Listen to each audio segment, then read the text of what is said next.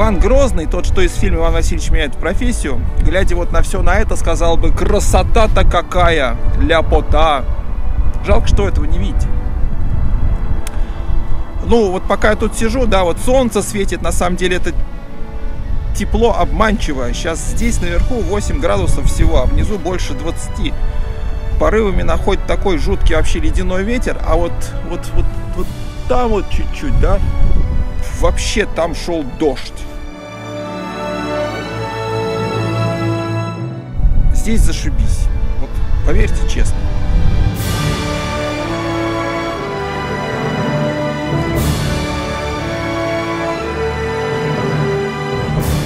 Я на втором этапе чемпионата Европы в классическом Урале. Это Канары, ну вы и так узнали.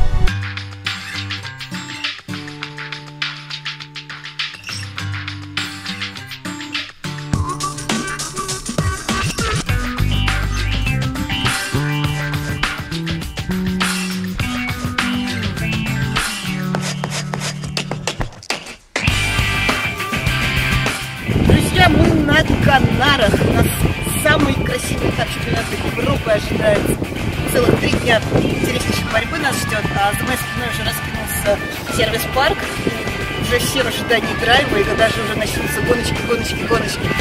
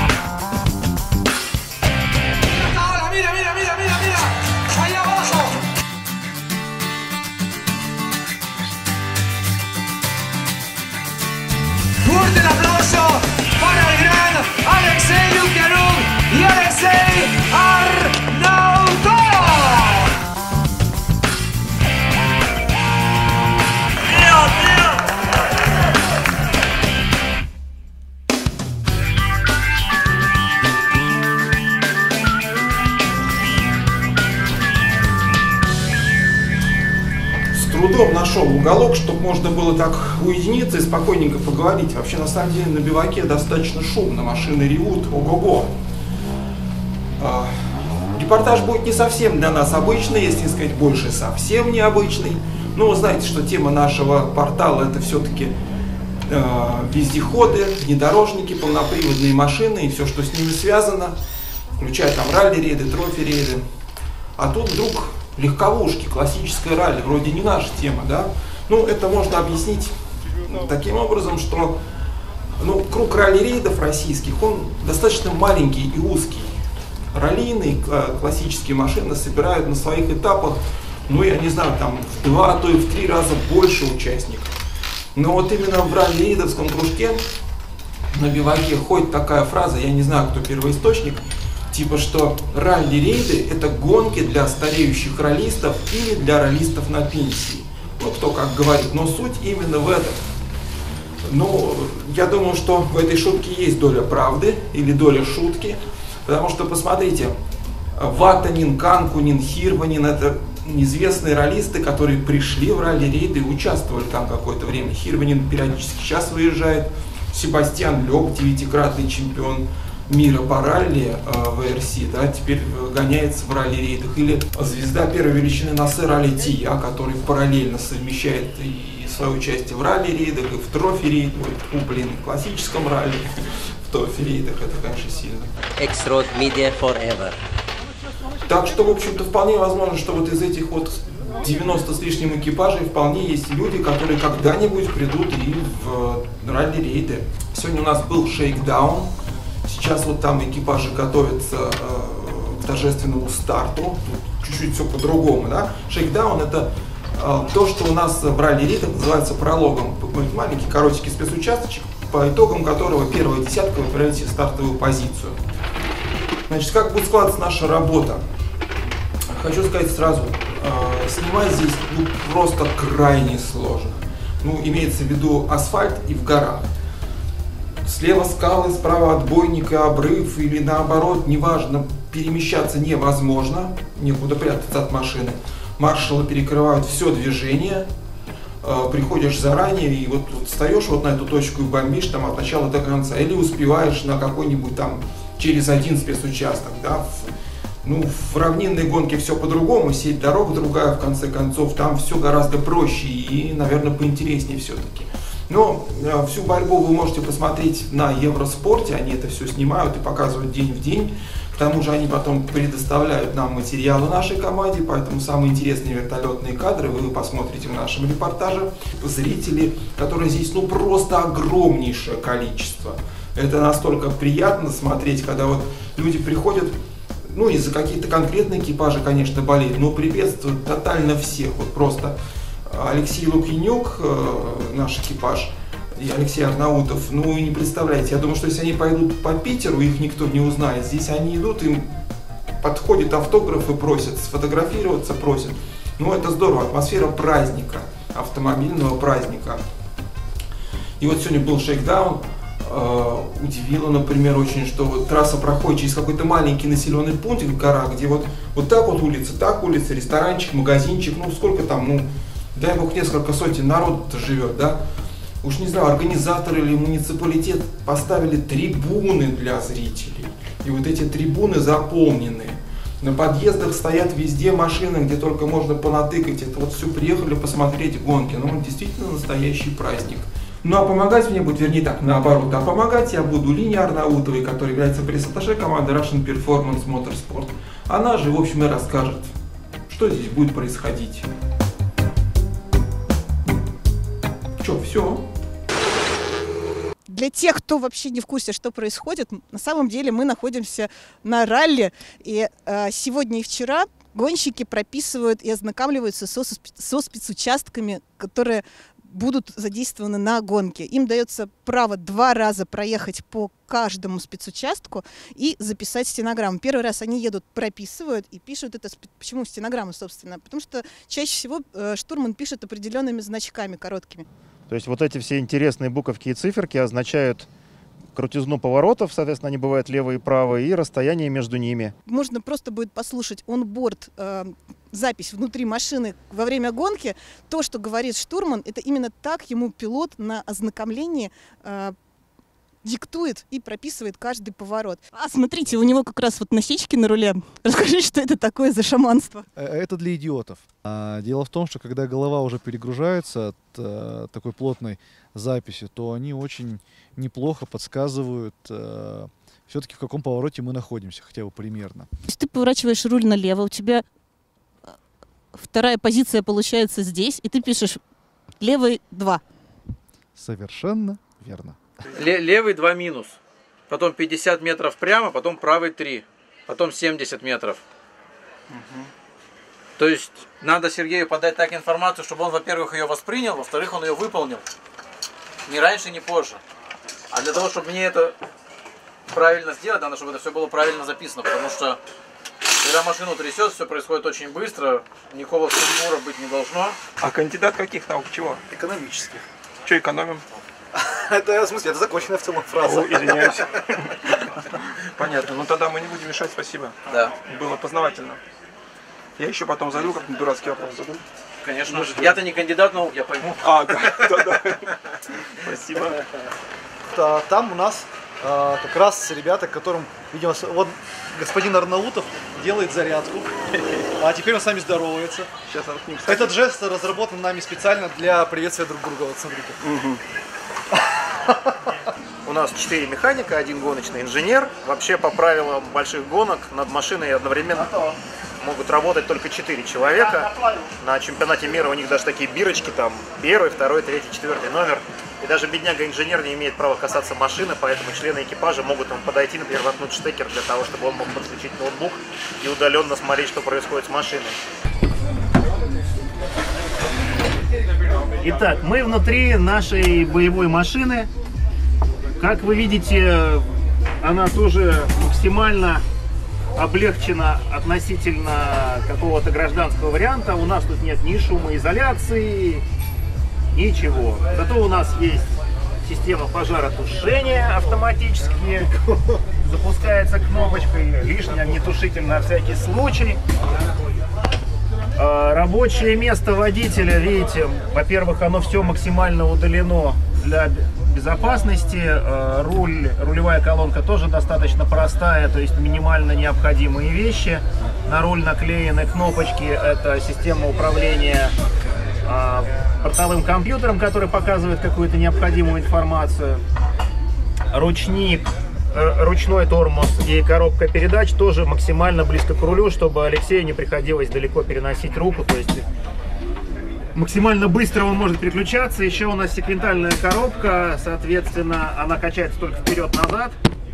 Как видите, педаль сцепления только имеет мизерные размеры, потому что по большому счету кулачковая коробка позволяет ей не пользоваться. Конечно, для старта для старта в гражданском режиме и того, чтобы облегчить участь э, коробки сцепления и пользоваться можно, но в боевом режиме Stage Mode, ру- ручник бросили, газ нажали, и она помчала сразу с места, ничего больше нажимать не надо. То есть только переключаешь передачи и все, и разгоняешься. То есть на гонке без сцепления. На гонке можно ехать без сцепления. Это воздухозаборник. Наверху машины наверняка наблюдали, такая есть специальная штукенция.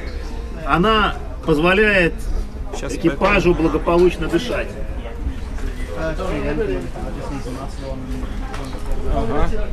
На теплых гонках машина раскаляется до 60 градусов, плюс еще от двигателя жара. И я думаю, что экипаж бы просто вымер. Но за счет того, что просто когда ты едешь э, набегающим воздухом, тебя обдувает, то на гоночной секции вполне можно жить. На перегонах, как ни парадоксально, без этой штуки тоже плохо. А если остановился, то вот э, на жарких гонках типа Кипра вот становится совсем тяжко. Это общая консоль управления, на нее выведены все кнопки, которые важны, то есть это старт-стоп двигателя, включение режима так называемого ну, боевого, а, управление всеми лампочками, печками, вентиляторами, ну и там ряд вспомогательных кнопок. В общем, я бы так сказал.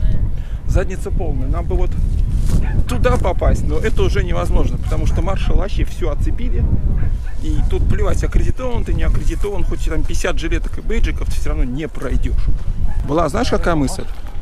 Через вон, видишь, чувак лезет, вон, вон, вон, синим. Вот через то болотце, но это, это альпинизм. Блин. Короче, посмотрите, по каким задворкам ходим. Реально проход не найти. Вот какая-то очередная тропинка, что из этого выйдет, я не знаю. Я так понимаю, скорее всего, нужно приезжать вот нам вот туда, где люди стоят. Приезжать нужно вообще часа за 4, потому что, ну, трендец. Приехали за 2, все оцеплено. Но вот эта тропинка, похоже, все-таки выведет, скорее всего. Устала лазать по горам тут. Очень обидно. Неудобно сейчас. В прошлом году было значительно лучше, комфортнее, парковки были ближе, но это асфальтовая гонка, ничего не поделаешь. Что дали, то и то ли снимаем.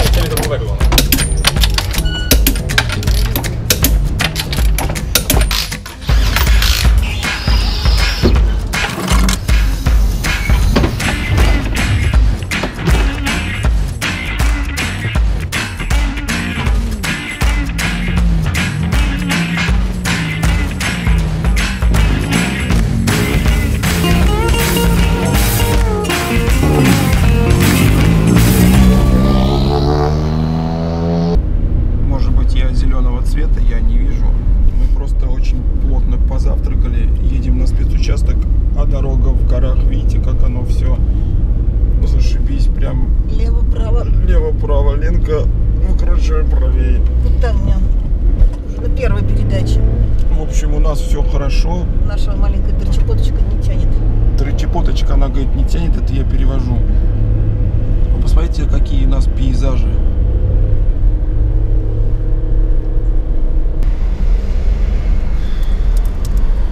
Нам хорошо едется, меня даже не тошнит. Осторожно, встречка.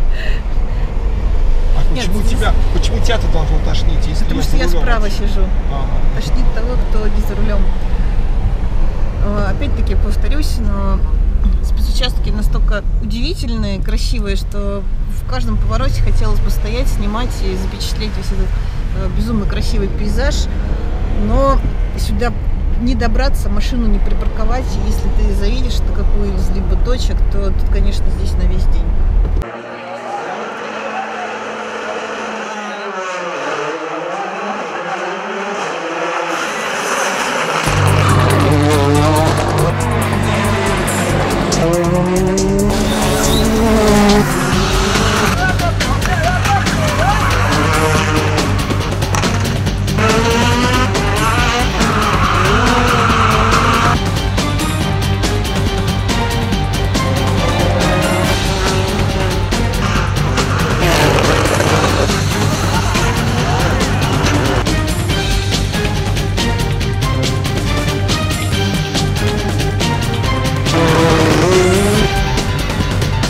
Правый один минус и 20 левый 4. Правый 1, 40 правый 2. 30 левый 2 тонко. 100 прямо, правый 4 плюс. Мы просто нервничаем, потому что у нас последние пару километров заключительных участков.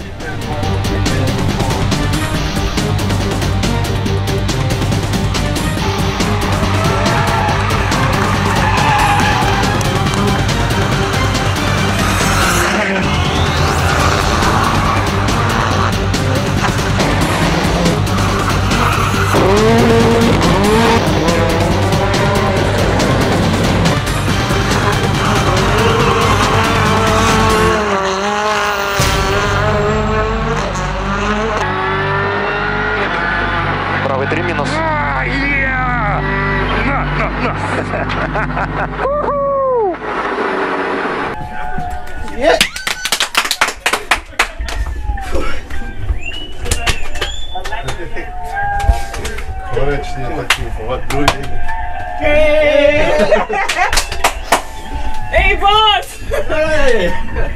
Все! Ура,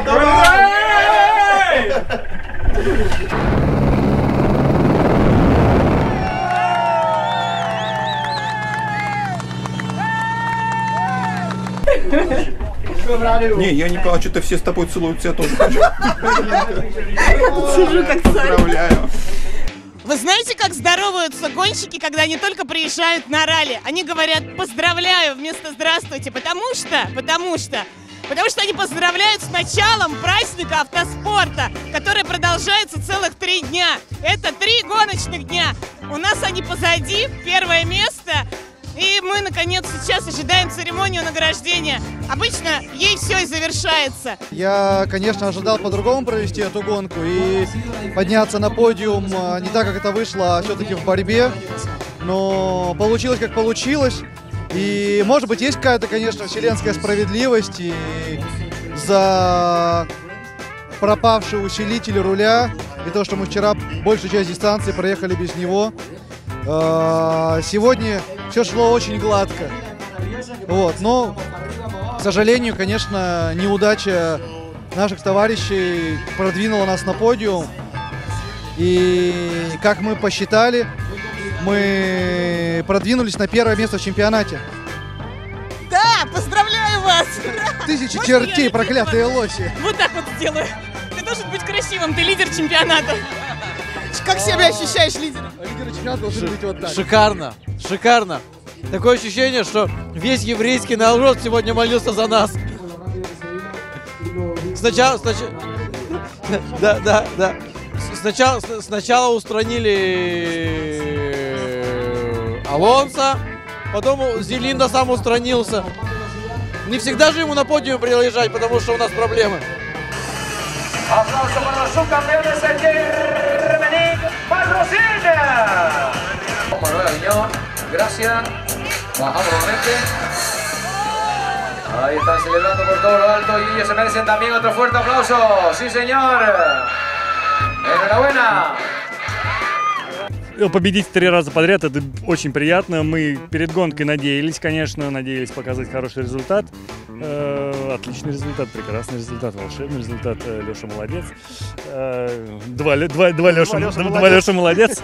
Да, так что, ну, все получилось. Э, Мы, мы молодцы в целом. Я считаю, ехали круто, достойно, учитывая, что у нас не такая большая тренировочная программа. Он даже почти не ругался, ему просто было некогда, он там рулил. А, да, в принципе, без проблем. Ну так, попугали какой-то отбойник в разных двух местах. А все остальное ровно, хорошо и вообще замечательно. Команда молодец, и колеса молодец, и ты молодец, и ты молодец. И вы молодцы, что болели. Лукас скоро заедет на подиум, и здесь все больше и больше становится зрителей. Ну, это просто вот реально в городе праздник автоспорта. Это приятно осознавать, видеть. Во всех газетах пишут про спорт, журналы, тут много прямых трансляций. Спасибо.